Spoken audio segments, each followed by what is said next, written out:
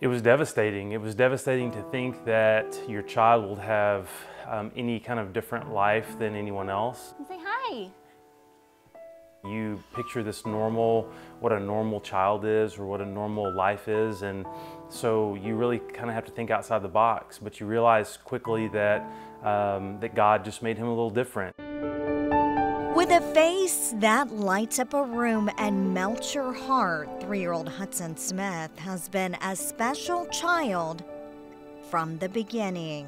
When we first found out, we were shocked. I mean, we there were lots of unknowns, which I think was the scariest part, just not knowing what was uh, what was coming. In fact, it wasn't until 29 weeks into Katy's pregnancy that the Smiths found out their third child, Hudson, would be born with spina bifida. You kind of wonder, how is this going to fit into my family? How am I going to provide for this kiddo? Dare to be different. The motto this Texas family has taken for their special child, going above and beyond to give Hudson the most normal life possible. As you can hear, little Hudson loves hippotherapy, a therapeutic horse riding program. He also got his first carousel ride this year, has been bowling, and here's something unique. He's taken part in adaptive snow skiing.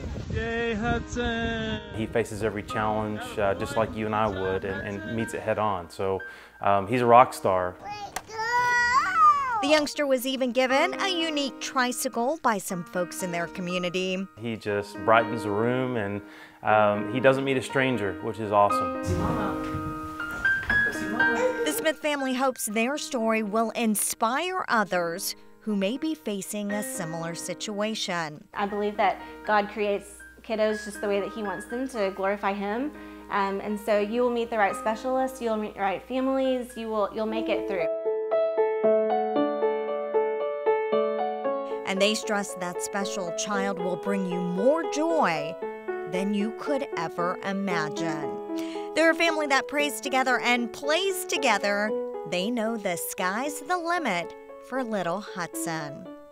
Our hope is you be inspired, be our change.